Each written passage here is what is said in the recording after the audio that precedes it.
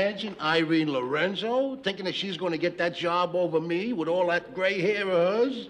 Well, she just might get the job, Arch. You know, nowadays the government is pressuring companies into hiring more women in executive positions. I know, I know it's a crime against nature.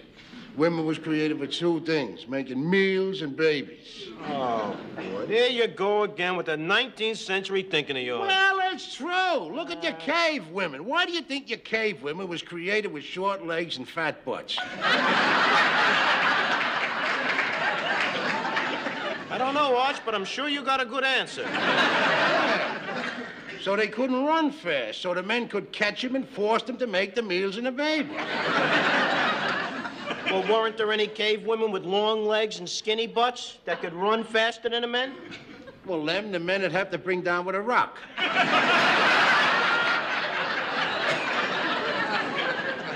I'm starting to catch on. And what about the cave men with uh, short legs and fat butts that couldn't catch any women? Well, they was probably your first fags.